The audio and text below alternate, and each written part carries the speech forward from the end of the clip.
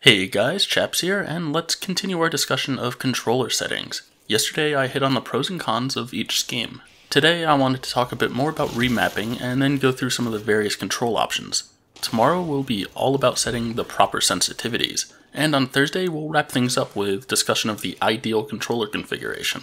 A common theme yesterday was the whole we would rather not take our hands off of the right stick in order to use movement commands. We certainly had some schemes that could help overcome this, but there's two other approaches that I wanted to cover. First up is the claw method. With claw, you basically hold your controller as normal. The change is that your right middle finger now controls RB and RT, and that index pointer finger now is in charge of the face buttons. It's a pretty cool technique, and it seems like it would solve quite a few issues. That said, it's uncomfortable and has apparently led to some long term issues due to the unnatural hand positioning. Perhaps the most elegant solution has been the adoption of paddles on controllers over the past five years or so. I personally use an official Xbox Elite controller, but there's other brands like Razer, Scuf, and other third party ones as well. One of the most distinguishable features on these controllers are the programmable paddles, or buttons, on the back of the controller. I primarily just use A on the right side paddle, but I also have a left paddle mapped to B. 2 is all I find I really need, and any more just gets uncomfortable. In theory, though, if you had all four paddles on and mapped to the face buttons, you would never need to take your hands off of those sticks again. It would be quite nice. While that's an elegant solution, not everyone wants to spend money, and I certainly wouldn't suggest using Claw. So for that, we have button remapping. There's two main ways we can do this. First up, I'll hit on the Xbox Accessories app. With this, I can change what buttons the controller thinks I'm actually pressing. So here, if I want, I can make it so that by pressing Y, the controller actually thinks that I'm pressing X. Most of the time there's no point in having multiple commands both do the same thing, so there's no point in leaving X. So now I'm going to make it so that pressing X, it thinks I'm pressing Y. This is nice, mainly for mapping paddles, but it can be a real source of confusion in-game. Let's load up an example. Here's an ammo box that I want to pick up. I'll walk over to it, and it says hold X to pick up. I hold X to pick it up, and wait, that just brought up my perks menu. Oh yeah, I swapped X and Y around. I really need to hold Y so that the game thinks that I'm holding X.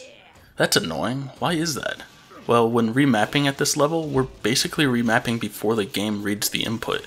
Your controller is sending X to the Xbox, and the Xbox is sending Y to the game. The game has no idea that you've remapped stuff. Because of this, something cool you can do is make it so that multiple buttons do the same command. I have Y mapped to X, but what if I left X still mapped there? If I were to load up the game, I could now press either X or Y and have it do the same thing. I said earlier that this was kind of pointless, and most of the time it usually is, but every now and then you'll find a game where this really comes in handy. Let's revert those changes though, and take a look at the better solution, shall we? In-game, we have this nice setting for controller remapping. The way you read the screen is, if I press this, then it will act like I pressed that. So let's say I want to make Y my pick up, use, and meat shield button. I know that's on X, so I go down to X. And I say, okay, when I press Y here, I want to act like I'm pressing X. Just to avoid confusion around the Y button, I'm also going to take that Y command and move it over to LB just so that it's out of the way. So now I back out and I go back into the game. Now with the same example as earlier, let's say I want to pick up some ammo. That used to be on the X button, but I said that I wanted Y to do the X command. As you can see, the game recognized that, and in-game, it actually updated the button prompts for us. On that same note, you'll also note that at the bottom here, it says that LB is now my ultimate, because I remapped the Y command to be when pressing LB. As I press it, something odd happens here though. It used my ultimate, but it also used TacCom. Well, that's because we have the LB button mapped both to the Y and LB commands. You've got to be careful when remapping this stuff. This in-game remapping is nice, but there's two potential errors you have to watch out for. First off, you could have an unmapped button, like right now my X button doesn't actually do anything. And second is the example I just showed, where you actually have multiple commands mapped to the same button. This can be a blessing and a curse, just as I discussed yesterday in the video where we talked about defaulternate. Something else cool that I'll note about remapping in-game is that it only updates during gameplay. If you change A and B around to strange buttons, you don't need to worry about that messing up your menu navigation. You can see here that it clearly states it only makes these changes when you're in a match, and I gotta say, that's a pretty nice advantage of this in-game remapping. I've got two more notes I want to hit on for remapping. First off is priority. Yesterday I gave the example of defaulternate. Cover is on A by default, and run and roll is on X. If I map the X command to the A button, A now has all three commands. Well, when playing, if you press A, it starts with the default command and then works its way down the priority list. So if you're holding A to run, it's still going to slide to cover if possible, because cover is a higher priority. It's not really that big of a deal, but it's certainly something to consider when remapping. And lastly, we have the keyboard and mouse remapping, or key binding as it's called in-game. What you'll notice here is that each command is listed, along with the button that activates it. This is command-based remapping, rather than button-based remapping that we have on controllers. This grants a significantly higher level of freedom to keyboard and mouse players, and is really disappointing that we don't get to see it on controller. I know I hit on the RB issues a lot yesterday, and that's a pretty good example here. A lot of people hate having reload and chainsaw on the same button. Well, look at this. They're separate commands on the keyboard. Here you can easily leave reload on R, but move chainsaw over to G or whatever you want to have it on. Obviously the keyboard has a lot more buttons at its disposal, and the button priority isn't as big of an issue. But man, I really wish we had it separated out on controller as well. Oh, and just as a side note, it's really odd that some commands still aren't split out. Like, why is weapon pickup and revive still locked together on one command, I wonder? Let's move on though, and talk about some of these settings. We talked about control schemes already, so let's skip over that. These six settings with the sliders all affect your aim and sensitivity. I originally tried to include all of that in this video, but it made it insanely long, so check back tomorrow for a separate video covering all of those. We arrive now at the vibration settings. For this, we simply have an option of turning it on or off. I used to keep it turned off as I found the vibration a bit distracting. Once I got my Elite controller though, I learned that I could tune the vibration. I gotta say, I really enjoy having different aspects of the controller have different vibration intensities. Overall, I keep it pretty low so that it's not annoying, but it's certainly nice to get that feedback. I would have loved to see the gears menu update instead of having on or off to have different levels of intensity for vibration. The next two settings are your simple Y and X inversion.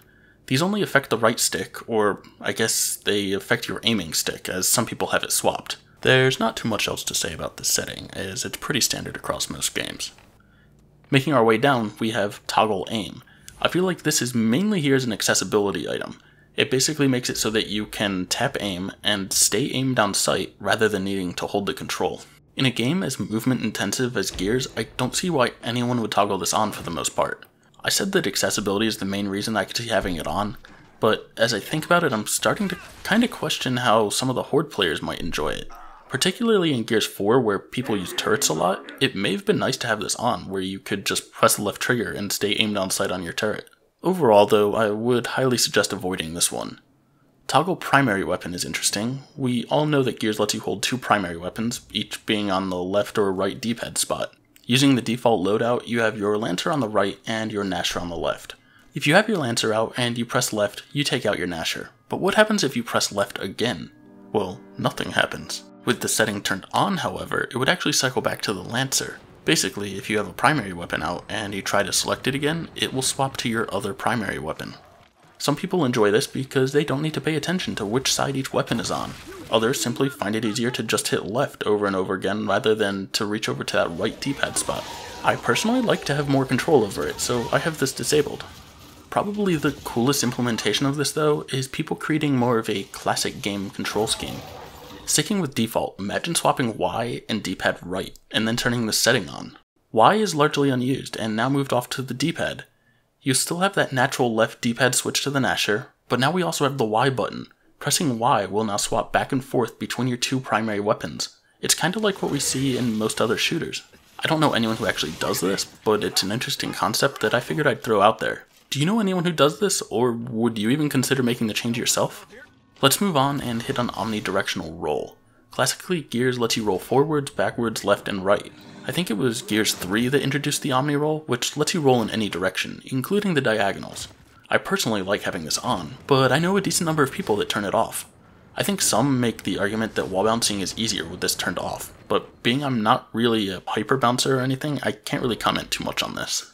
The next setting is kind of odd, and it's called analog movement in cover. The description down here reads, when in cover, roll the movement stick left or right to control movement speed. I don't know about you, but when I read that, it didn't make any sense. I did some testing, and this is what I found it actually does. Basically, when this is on, if you're in cover, you can move side to side, and your speed is based on how far you're moving your stick to the left or right. In other words, if my stick was like this, I'd move slowly to the right. If it was like this, I'd also move slowly to the right, because while it's all the way at the top, it's still only very slightly to the right side. The further you move your stick to the side, the faster you move. With this off, the direction of movement is still based on the direction of the stick, but now your speed is based off the magnitude of the stick in any direction. So again, with the stick like this, we'll move slowly to the right. Moving it out further to the right will speed it up as usual, so yep, it still stays the same. But now, what if we move it up here? Well, we're slightly off to the right, so we're still going to move to the right. But the speed is based off the total stick magnitude. Because the stick is pressed all the way out, we're moving at full speed. This isn't exactly intuitive to me, and I can't say I'm a fan of it, but maybe that's just because I'm used to the way it is after all of these years. Does anyone actually play with this off? What benefit do you think it gains you? Moving further down the list, we get to some that seem more accessibility and inclusion oriented. First, we have these options for sticks and triggers. For those, let's press Y and hop back to the control scheme page. Right now, I have it all set to defaults, but let's go down and mess with sticks. The first non-default option is simply left-handed. All this has done is swap the left and the right stick. Something I'm kind of curious about here is roadie run. Like, with default, when you roadie run, it moves your yaw command from the right stick to the left stick. It did this because it was awkward to hold A while also controlling the right stick. Well, with this change over to left-handed, that's exactly what you still need to do. It would be nice if when roadie running they kept that yaw command on the left stick if you had the left-handed controls enabled here. The next configuration we have is called Legacy. As you can see, all it's done is swapped strafe and rotate.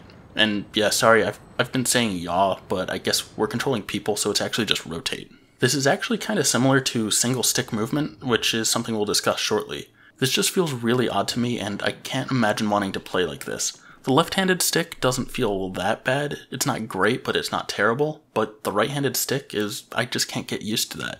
Lastly, we get to Legacy left-handed, and again, all this is doing is taking Legacy and swapping the left and right sticks. As a right-handed player, it's hard for me to really judge this setting. That said, I found Legacy to be strange, so I imagine a left-handed person would find Legacy to be strange as well. Do you know anyone who uses this? Oh, and actually something kind of funny that I want to bring up is that whole roadie run thing again. Remember how left-handed is odd because we need to hold down A and move the right stick in order to control movement? Well, with Legacy left-handed, being it swaps the sticks back again, we're actually all set. It puts that rotate command back on the left stick when roadie running. Man, it's kinda odd. The last setting on the screen is triggers. This is a simple one with the option for default or left-handed.